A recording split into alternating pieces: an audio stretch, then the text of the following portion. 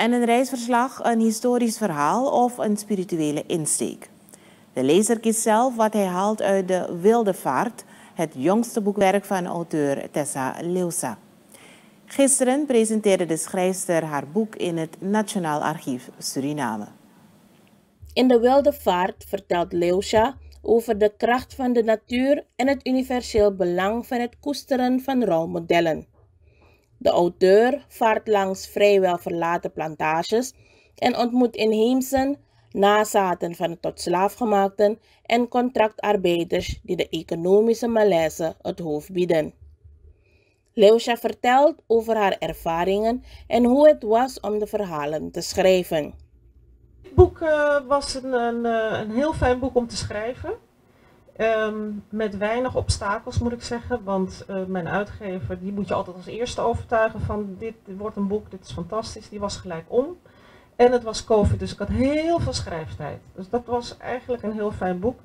Um, en ik had heel goed gedocumenteerd op de route. Ik had heel vaak ingesproken, waardoor alle gesprekken, en die hebben echt zo plaatsgevonden zoals in het boek zijn gekomen. Um, in het algemeen is schrijven uh, een, een, een, een, best een, een pad met, uh, met hobbels om te nemen. Uh, je moet een publiek zien te vinden, je moet natuurlijk de uitgeverij mee zien te krijgen. En dat was niet altijd gemakkelijk voor Surinaamse verhalen, verhalen uit Suriname. Daarvan werd gezegd, ja, wie wil ze lezen enzovoort. Nu is het tijd duidelijk anders en heb ik de wind mee en dat is een heel fijn gevoel. En ook heel fijn dat, dat de verhalen die leven in Suriname en die natuurlijk ook de verhalen zijn die met Nederland te maken hebben, dus eigenlijk ook Nederlandse verhalen zijn, dat die, die omarmd worden en dat daar ruimte voor is. Het boek is geschreven in de coronaperiode en Leusha zegt dat met dit boek ook de veerkracht van Surinamers wordt beschreven. Dat is iets waarop we echt trots mogen zijn dat Surinamers door alle crisis heen het hoofd boven water blijven houden. Toch een um, gastvrij en opgewekt volk zijn. Dat had ook anders kunnen zijn, denk ik. En ik denk dat we ons dat te weinig realiseren, dat dat een kracht is van Surinamers zijn.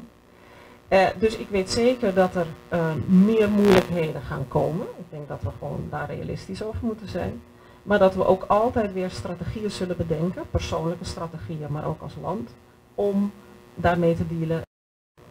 Ik wilde een boek schrijven ook heel erg vanuit Suriname. Hè. Wat, wat vaak gebeurt is dat er over Suriname wordt geschreven. Um, en ook het debat over het koloniale verleden vindt in Nederland vooral plaats over Suriname, maar heel weinig met Surinamers. En dat was ook mijn insteek om in dit boek uh, dat soort aspecten en dat soort uitspraken doe ik doen en dat soort observaties doe ik uh, om een boek volledig vanuit Suriname over Suriname zelf te schrijven. De auteur vindt het belangrijk dat Surinamers uit Suriname zelf verhalen publiceren in plaats van dat die door anderen worden geschreven.